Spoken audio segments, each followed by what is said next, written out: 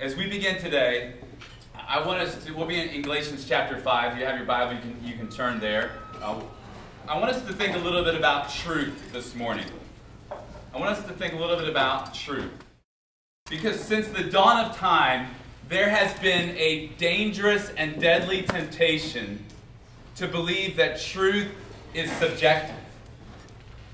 We see it in our world today. In fact, I would say it like this that, that today we almost it's almost commonly believed in our culture that truth is objectively subjective.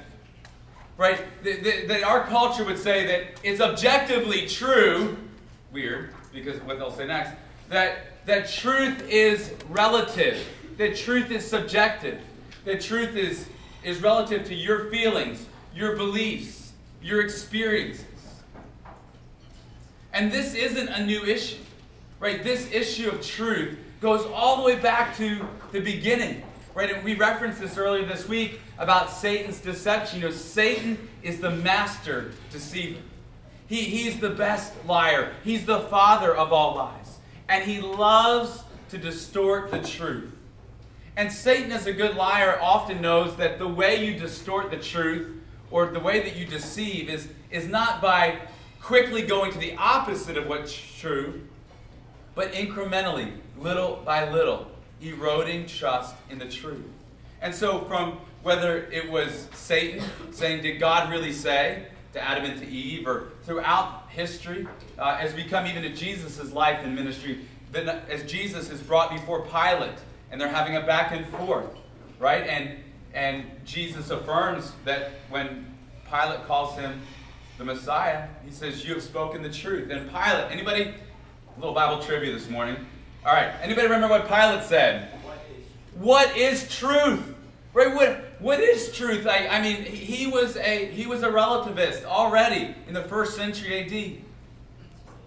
And today we might hear people say things like, I'm living what? My truth. Living my truth. But here's the thing. There, truth is truth, and truth is not subjective, and it's not subjective to my feelings or my experiences or any other thing.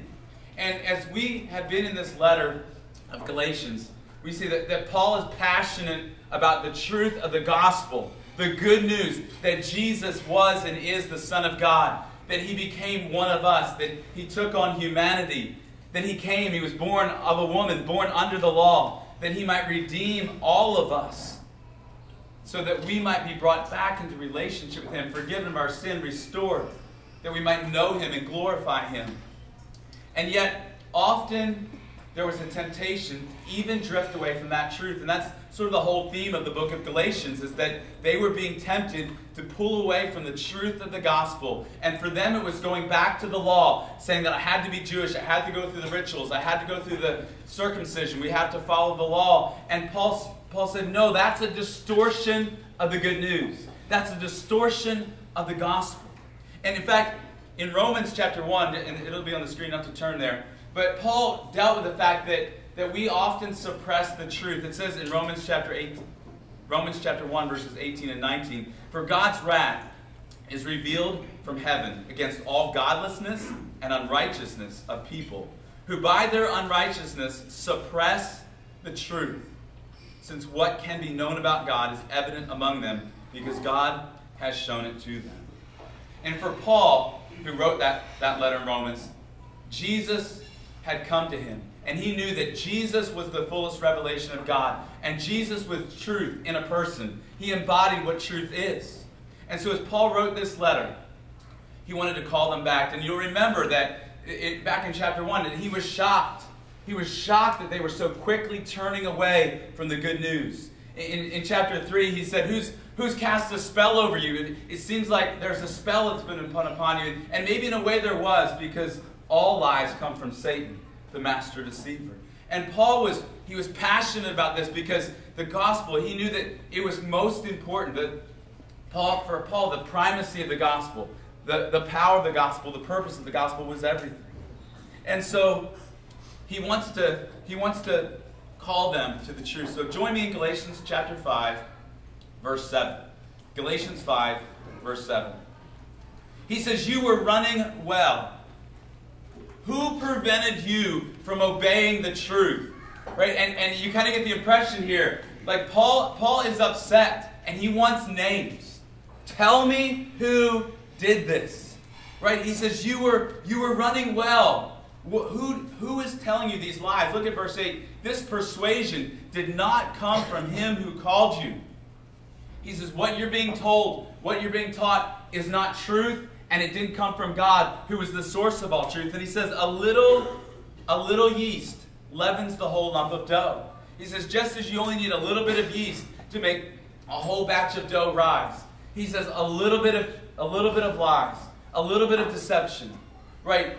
When the truth is undermined, will cause great problems. It'll be disastrous. Even a little compromise, even a small compromise with the truth, can have disastrous consequences.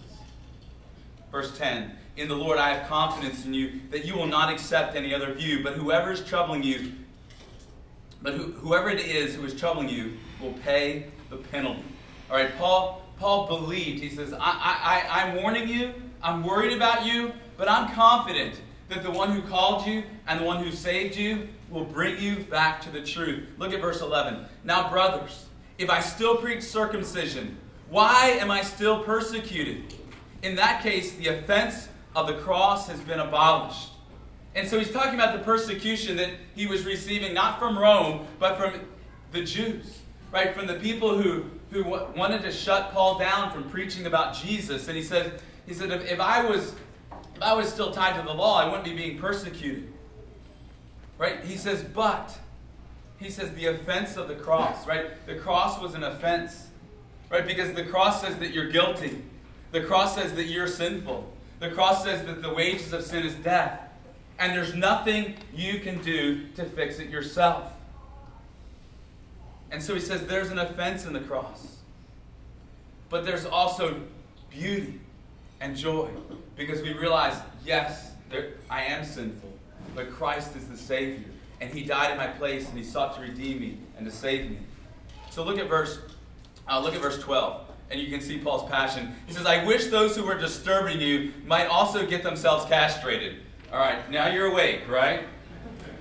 It's like, okay, Paul, tell us how you really feel. Like, don't hold back, Paul. Like, like I, I grew up in, in, about 45 minutes from here in, in, South Jersey, all right? Greatest state in the world, all right? Out of here. Yeah. All right, I got mixed results. Right, but you know, you know, people in this area, they're straightforward, right? I, I think Paul could have been from Jersey easily, all right? And, and, and here's Here's why he's so passionate about this because the gospel was being distorted, right? And there's no other means by which someone can be made right with God. There's no other way that you can be forgiven. There's no other way that you can escape the wrath of sin and the judgment of God except through Jesus, except through the cross. There's no other way. And Paul said, This is such an important issue that I am passionate about it, and I'm righteously passionate about it. Look at verse 13. He says, You are called to freedom, brothers. Only don't use this freedom as an opportunity for the flesh, but serve one another through love. For the entire law is fulfilled in one statement love your neighbor as yourself. But if you bite and devour one another, watch out, or you will be consumed by one another. Now, it's interesting here. He, he says, You have you're, you're free from the law. It's not about earning your way anymore. It's not about keeping all the rules and being good enough that God will accept you. Right? The message of the gospel is you are not good, but Jesus died for you anyway. And we looked at the story of the, uh, of the prodigal son and the older brother and the father yesterday. And what a glorious picture of how God receives us. The younger brother, filthy and dirty and broken, and yet the father runs to him and wraps his arms around him in total acceptance and love. And that's a picture of the gospel. And so we are called to, to not earn it, but to receive it by faith. We're called to freedom. But he says, don't use your freedom to go back and, and to live a sinful life. He says that, that, that we're free from the law doesn't mean we can do anything that we want. He says, but rather serve one another through love. What is he talking about? Here's the thing our lives are not just about us.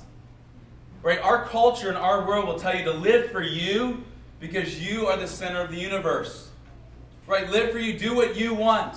And, and this isn't a new thing, it's always been like this. And what the Bible teaches us and what is true is that our lives impact other people's lives. Right? None of us are an island. And so my choices and my decisions impact others. They impact my family, they might impact my church, my community, they could even impact you, right? And so he says, love one another. How? By, by following Christ. He says the entire law is fulfilled in this one statement love your neighbors yourself.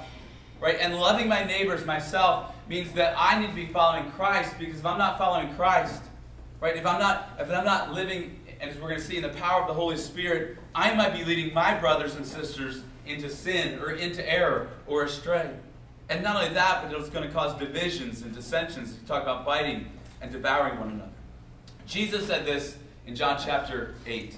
He says, Then Jesus said to the Jews who believed him, If you continue in my word, you are really my disciples. You will know the truth, and the truth will set you free.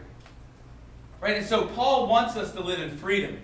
And freedom from the law doesn't mean we do whatever we want, but now that we've been redeemed and now that the Holy Spirit lives within us, we are now empowered by the Spirit to follow Christ, to obey Him, not through the law, but through the Spirit.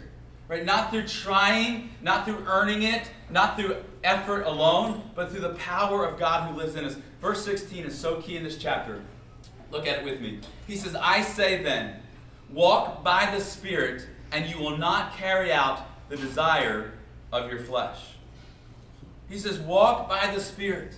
And this is key. And Paul came to know this. He says, the Holy Spirit, the third person of the Trinity, comes to live and dwell in every single child of God. Everyone who's called on the name of the Lord, everyone who's saved, you have God living in you. Not only are you in Christ spiritually and positionally, but He is in you through the Holy Spirit.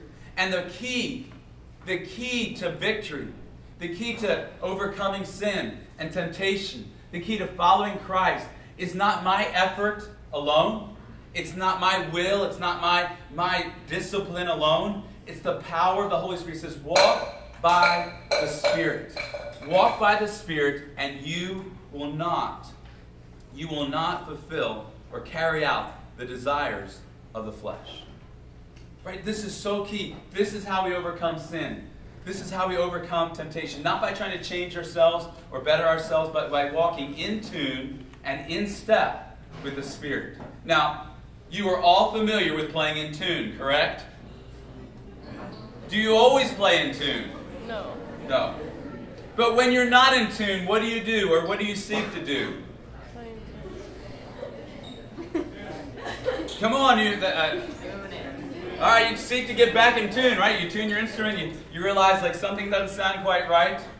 Right, and that's exactly what, what Paul's saying. He says we need to live in tune and in step with the Spirit. And there's going to be times in our life where God's going to say, I'm not in tune right now. I'm not listening. I'm not walking in step. You know, I was in marching band when I was in high school. I know it has mixed opinions, right, around these parts, but it was a good experience for me. Uh, learning to walk in step was a challenge for me sometimes, right? But we had to because we got judged on that. We had to walk in unison, in step. And this is the picture that, that Paul is seeking to paint for us that when we walk in step with the Spirit, when we rely on Him, when we depend on Him, that He empowers us to live out our faith and to follow Christ and to stay true to who He is, to the gospel, to His call and purpose on our lives. And so when we walk in step with the Spirit, right, our lives begin to look more like Jesus' life. Right? We have a more a longing to, to know him. We have a longing to worship him, to serve him, to live for him. When we're walking in step with the Spirit and we sin, we feel guilt and we feel conviction, right? And, and we are led and drawn to repent and come back to Christ. And so this is such a key thought for Paul. He goes on in, in verse 17 and he explains a little bit more about why. He says, For the flesh desires what is against the Spirit, and the Spirit desires what is against the flesh. For they are opposed to each other, so that you do not do what you want. But if you are led by the Spirit, you are not under the law. So here's what he's saying. He says, as a follower of Christ, right, our old nature is still there. We still have temptations. We still sometimes have desires to do things that we know are not in line with God's will for our lives. There's a battle. There's a struggle, right? It's almost like the old, you know, the old Bugs Bunny cartoons. That anybody You know, they're still on YouTube. You can find them. All right. I loved Bugs Bunny growing up, but they're in some of those. You know, they had the little, you know, the angel on one shoulder and the little devil on the other shoulder, and it's not really like that. But have you ever experienced that tug? Right. That I, I, I know I should, but there's something pulling me to do this. Right. That's what Paul's talking about. And he says we have desires that go against God's will. We have desires that go against God's ways. And our culture would say that you need to live out your desires, that living out your desires is who you are, that your desires are your identity, that your desires define you, but that's not true.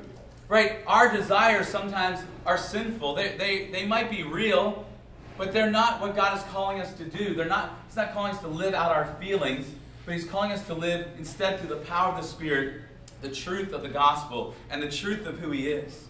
And He says, if you are led by the Spirit. You're not under the law. You're not, it's not through, through trying harder, but through the empowerment of the Spirit. He will help you and enable you to do what He's called you to do. And no, He won't do it perfectly. And no, it doesn't come easily. It, it takes intentionality, right? Playing in tune requires frequent adjustments. You can't just tune your instrument one time, can you? Right? Right? You have to tune it how many times? Every day. Every time, right? And we need that in, in our walk with Christ. Right? We can't just, you know, be great if we say, man, I came to Csehy and I got in tune with the Spirit and I, I got close to God. I heard His Word. I was surrounded by other Christians and, man, I felt close to God. I'm in tune now and I'm good to go. I don't, I don't need to pray anymore. I don't need to read my Bible. I don't, I don't need to, I don't need to confess my sin. I don't need to do anything because I'm good. Wouldn't it be awesome if that was true in one way that we were all just good to go? But that's not how it works. We have to daily walk in tune with the Spirit. And that's key. It's not always easy, but it's so important. Because even though we're free from the law, and even though we're free from the eternal consequences of our sin, listen, in Christ there's no condemnation. Right? Paul would say in Romans 8. There's no condemnation, no judgment for those who are in Christ Jesus. Right? That's an amazing truth. Right? But here's the thing sin in our lives here still has consequences, and often devastating consequences. And I've watched it. Sin causes death death of hope, death of opportunity, death of joy, death of relationships. And Paul will go on and he'll say, This message I'm telling you about grace and about the gospel is not a license to sin. Notice verse 19 and 20, and even through 21. He says, Now the works of the flesh are obvious sexual immorality, moral impurity, promiscuity, idolatry, sorcery, hatred, strife, jealousy, outbursts of anger, selfish ambitions, dissensions, factions, envy, drunkenness, carousing, anything similar about which I tell you in advance, as I told you before, that those who practice such things will not inherit the kingdom of God. Right? So Paul's saying is that if your life is patterned by uncon- unconfessed and unrepentant sin, that you should not think of yourself as a follower of Christ. Right? He's saying that if the pattern of your life, he's not saying that as believers we don't sin or might even do some of these things, but if the pattern of our life is that this is my identity, this is what I do, and I do it without guilt, I do it without even thinking about it, I do it without any conviction. Paul would say, don't think of yourself as belonging to the kingdom. Because the Holy Spirit, once He's inside of you, He's going to be convicting you of truth. He's going to be confronting you. He's going to be bringing you an awareness. And, you know, we don't like to be confronted with our sin. Right? We don't like to be, conf- I don't like to be confronted. We don't like to be told that our desires are not in line with God's will. They're not in step. And, you know, listen, as I've said before, we all have corrupted desires. We all have desires that go against God's good and perfect will. And it's okay. You're normal if you have those desires. It's part of living in a fallen world. But through the power of the Holy Spirit, God wants to give us the ability not to yield to every whim or desire that we have, but to yield to His Spirit so that we can live a life that pleases and honors God, that we can live a life that is good, that is filled with joy. And so, as, as Paul goes on, he, he's going to say, these are, these are things that characterize our old life, but notice what characterizes the new life. Verse 22 and 23, this is probably familiar to you. We call them the fruit of the Spirit. He says, but the fruit of the Spirit, and it's a singular word fruit, right? So these are all connected, right? Does that make sense? He's not saying there's, there's many fruits of the Spirit. He says there's one fruit, and this is how it's manifested. He says the fruit of the Spirit is love, joy, peace, patience, kindness, goodness, faith, gentleness, self control. Against such things, there is no law. So, what's Paul saying? He's saying that the Holy Spirit produces these kinds of things in our life. That if you're walking in tune with the Spirit, that these things ought to be being produced in your life. Right? And love. Love is to be the defining characteristic of a follower of Christ. Jesus said, if you that all people should know that you're my followers if you what? Love one another. The greatest commandment, Jesus said, was what? To love God with all of your heart, with all of your mind, with all of your soul, with all of your strength. And the second is like it. What? To love your neighbor as your yourself. Right? Love is to define who we are. Right? And so, and that love is to be a supernatural love that comes from the Holy Spirit living within us. Right? Earlier in chapter 5, Paul said this in verse 6. He says, For in Christ Jesus, neither circumcision nor uncircumcision accomplishes anything. What matters is faith working through love. And so our lives are to be defined by love. And then he says, Joy. You know, joy is a gift from God. And I was on a mission trip uh, several years ago. I was in the Dominican Republic, and we were going around to Compassion International sites and visiting them. And uh, the kids would do a program for us, and mostly we were there just so they would have someone to, to, to, to share with, and someone to play with, and to know someone cared about them. And we were at this one, we were at this one uh, compassion site. It was a huge site, and I mean there was just so much excitement and energy in this place and they were singing this song, and while they were singing the song, they started a conga line, all right? So a little bit different than our culture, maybe. Uh, we probably won't ever do that at Csehy. Um, I don't make the rules, all right? So don't blame me. But they were singing this song. Of course, they were singing it in Spanish, and I was picking up a few words, but I didn't get all of the words. And I said, What is this song about? And they said, This song is about the fact that our God is a joyful God. And never forgot that. Right? Our God is a joyful God. And so when we think about following Christ, right, that, that joy and is not found in sin. Joy is not found in living for self. Joy is not found from following every whim or desire of your heart. Joy is actually a gift that God wants you to experience through the power of His Spirit. And it should be produced in our life. And it, it goes above circumstances. These kids lived in absolute poverty. They didn't have anything materially, but we would think that we have or that we need to be happy. But they had a joy that was supernatural. So Paul says there's love, there's joy, there's peace. That's not the absence of problems, but it's the power of the Holy Spirit giving us a settledness that no matter what I face or no matter what I go through, no matter what I encounter, that I belong to God. And He's got me. He says patience, not quickly irritated with others, kindness. You know, kindness is so underrated. Kindness is so powerful if you've ever been impacted by kindness, you'll know how powerful it can be just to be kind to someone. Goodness, it means to be generous with our lives, to live for others. Faith means to be reliable. Gentleness, the idea has the idea is being teachable, right? It's it's being humble. Self-control. In, in this sense, it's not just self-discipline, but self-denial, not living for myself. And Paul says there's no law against these things. What is he saying? He's saying that the Holy Spirit doesn't lead us away from the things that the law showed us, it just empowers us to live them out differently. Not through trying or striving, but through the power of the Spirit. Look at verses 24 and 25. It says, Now those who belong to Christ Jesus have crucified the flesh with its passions and desires. If we live by the Spirit, we must also follow the Spirit. And so here he's going to circle back to, to what we love, what he shared in verse 16. He said, he says, if we belong to Christ, right? He says, you need to realize that your old life was crucified with Christ. We, we looked at Galatians 2.20, and it's such an important verse to me, right? I've been crucified with Christ.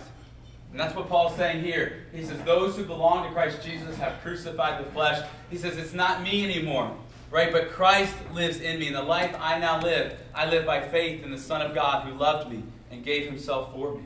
And so he says, we've crucified ourselves. We, we have been crucified with Christ right? That, that we've given up our rights to self. We've given up our rights to live our own life. And we've now become a follower of Christ. We belong to Him. And so He says, if we live by the Spirit, if you've been saved, if you've been born again, He says, let us what? He says, let us keep or we must follow the Spirit. We must stay in step with the Spirit. Right? And so my, my heart for you as we wrap up this week, as we think about the message of Galatians, right, that there is truth and truth has a name, and his name is Jesus. Right? And Jesus is the way, the truth, and the life. And no one comes to the Father except through him. I hope that you will hold fast to the primacy of the gospel. That, that you will not waver in your confidence. That I might have questions. And I might have some doubt sometimes. And I don't know everything about the Bible, and neither does anyone. But there are some things that I can absolutely know that God has revealed and made absolutely clear. And it's all centered on this Jesus really lived on this earth. He was born supernaturally of the Holy Spirit of the Virgin Mary. He really lived a perfect life, a sinless life for you. He really died on a Roman cross as a sacrifice for sin. And he rose from the dead. And he appeared to his followers.